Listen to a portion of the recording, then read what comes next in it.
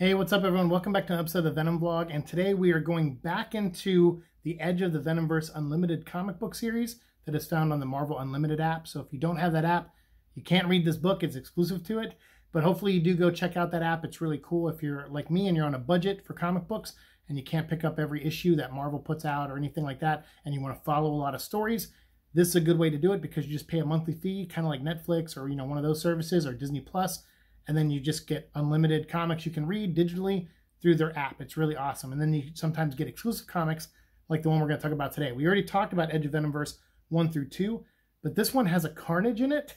So I want to talk about this for Carnage Week here. This is kind of like a bonus episode I'm going to throw in here for Carnage Week. So with this one, we have Clay McLeod Chapman once again coming back to write it, but then we also have Phillip Sevy, uh, who's also coming back to draw it. And again, this team is just really good. I like the two of them together.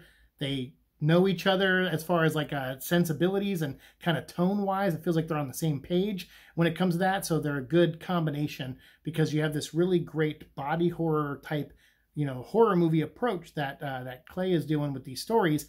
But then you also it matches Phillip's artwork, which is very horror ish. So I like that. So in this one, what we have here is we have this story that starts off with a young man and a young lady named Greg and Lisa. And they're on this random Earth, you know, Earth like 51,000 or something like that. It's way up there in the numbers.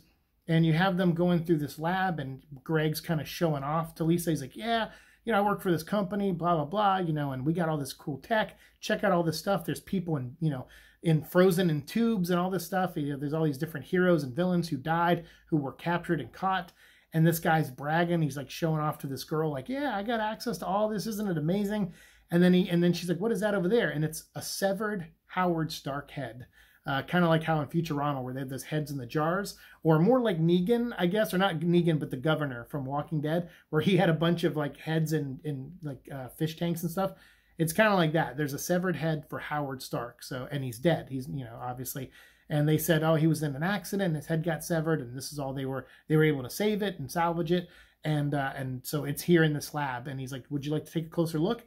And Lisa freaks out and goes, yes, and she grabs Greg and smashes his head into the cylinder, busts it open, and the Howard Stark head falls off and lands on the ground. And you're like, what? What is going on? This is so creepy. What is what is she doing? Why does she want the Howard Stark head? And then she's her voice starts changing. And then you find out that she is actually God Carnage. Uh, we obviously talked about that at the end of the last storyline with Carnage 11 through 12, which we filmed like a couple days ago. Um, in that story, we got the setup that God Carnage with John Shade is going to go into the multiverse and find other Venoms and kill them. And then you also have like an Anne Weying who is Agent Venom that we you know met during the Donny Cates run.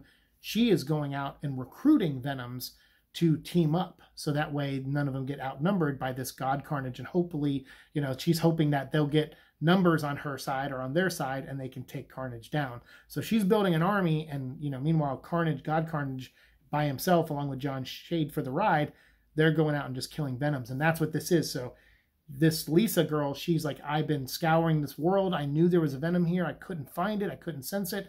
Now i know why. It's because it's been in this jar and the rumors were true and here i am busting it out. And he's like so get up.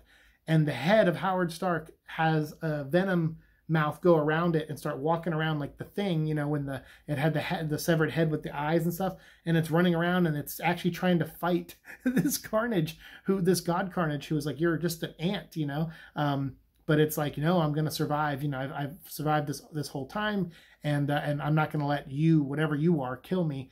And uh, obviously it doesn't have that big of a say in it because it kind of is an ant. It's just a head with a symbiote attached to it, and it's nothing more against a God Carnage. So you could probably guess the outcome. Still, fun book. It's really, really awesome, and uh, and I would recommend that if you have the app, you know, go read it right now. And if you don't have the app, consider getting it so you can read these stories, or this is the one I talked about here, and the other Edge of Venomverse Unlimited that we talked about.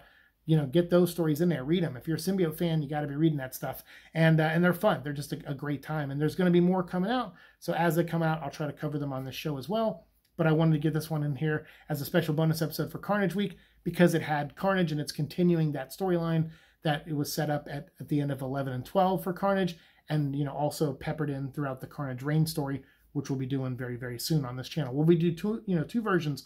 I'm going to do my episodes split into two episodes uh, and those are going to be the ending of our Carnage Week is going to be those. But then later on, like in the month or something, or maybe the end of July, early August, I'll probably uh, I'm gonna have Eddie's mullet, and I'm gonna try to get like a a little bit of a round table, like two or three people, and we're gonna discuss uh, Carnage Reigns together, so you can get other people's opinions about that event other than just mine. So yeah, that'll be coming up on the channel soon too. So you know, stay tuned for that. So if you like Carnage stuff, if you like Venom stuff, subscribe to this channel, like the video, and comment down below. Let your voice be known. I want to hear your thoughts, and we'll keep talking down there. Thanks so much for watching. As always, like, share, subscribe, all that fun stuff, and we'll see you in the future. Peace.